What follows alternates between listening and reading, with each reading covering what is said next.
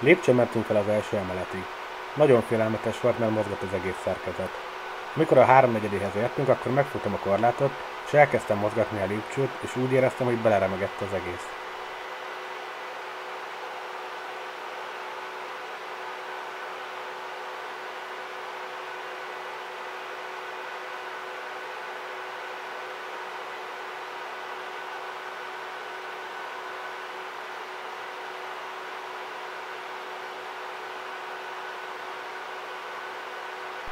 Úgy volt, hogy a busz indulásához oda jön apukánk, és ad költőpénzt, meg egy normális fényképezőgépet.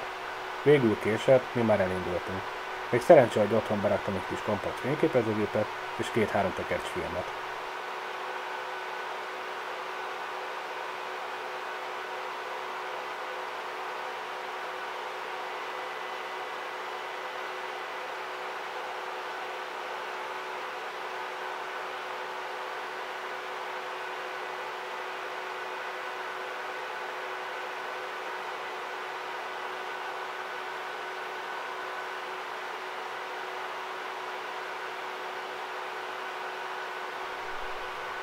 Miközben megvette jegyeket, én a torony alatt vártam. Felnéztem középen, és nagyon megtetszett. Letérdeltem, és készítettem pár fotót. Úgy gondoltam, hogy életem legjobb képe. Nem is értettem, hogy miért nem fotózzák onnan a tornyot.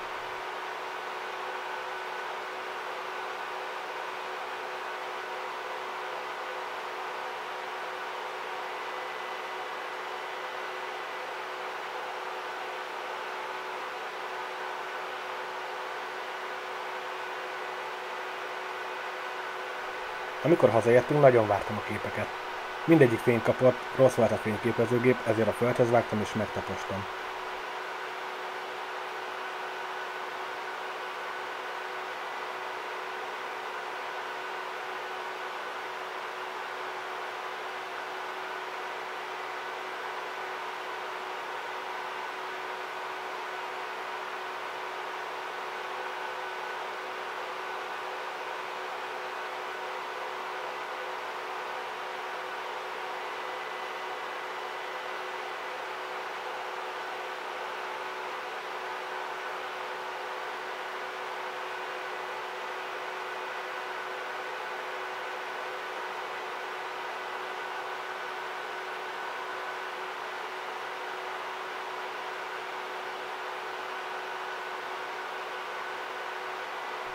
Apukám még korán elváltak. Kevés fotón maradt tőle, de az egyik az Eiffel lépcsőjét ábrázolja, mai napig a szobám falán van.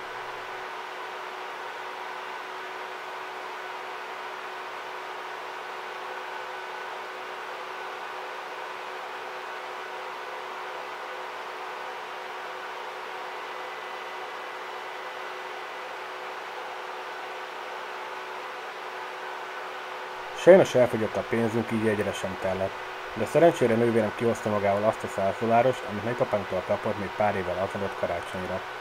Nagy dilemma volt, hogy beváltsuk-e vagy sem. Én lebeszéltem róla, de végül átváltotta, és elraktunk belőle egy-egy két frankos emlékül.